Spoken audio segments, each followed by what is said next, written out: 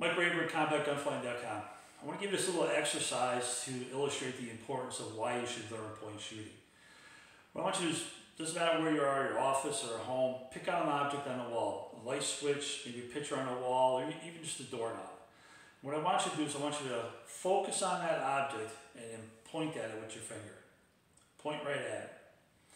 Keep that object in focus. So it's clear. Now shift your focus to your fingernail so that your fingernail is in focus.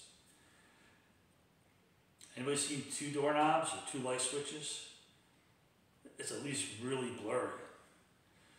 Here's the thing, in shootings, although it may be dark and hard to see that bad guy, you can see him. The bad guy's clear.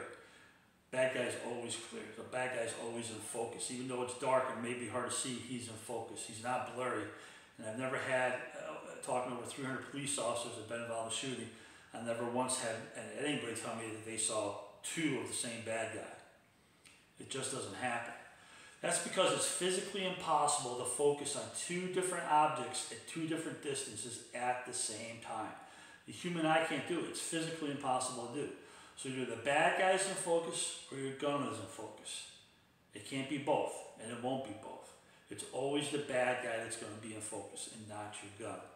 So why are we training people to look at their gun and look at their sights? It makes no sense. You need to learn point shooting and be able to point and have that bad guy in focus and fire. Mike Rayburn,